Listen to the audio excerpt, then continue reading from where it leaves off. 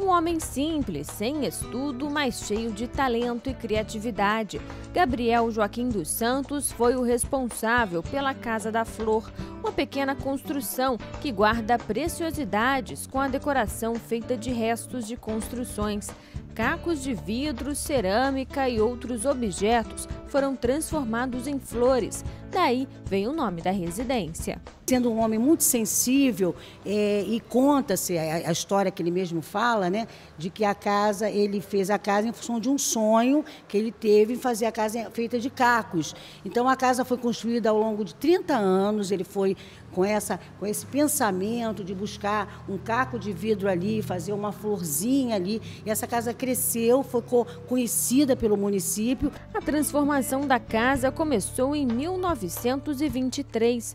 Hoje é patrimônio histórico da cidade de São Pedro da Aldeia, além de um ponto turístico. Toda essa história foi transformada em uma exposição.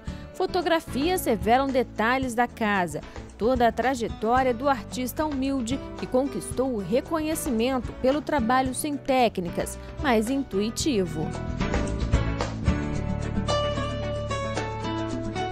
Seu Gabriel faleceu em 1985, aos 92 anos. Todo o material do trabalho dele também está reunido em um livro que conta a história da Casa da Flor. E ao longo dessa, dessa trajetória dele, ele conheceu a dona Amélia Zaluá, pesquisadora, que a partir desse encontro dos dois, ela passou a, a ser assim, a companheira na luta de manter viva essa casa após o falecimento do seu Gabriel.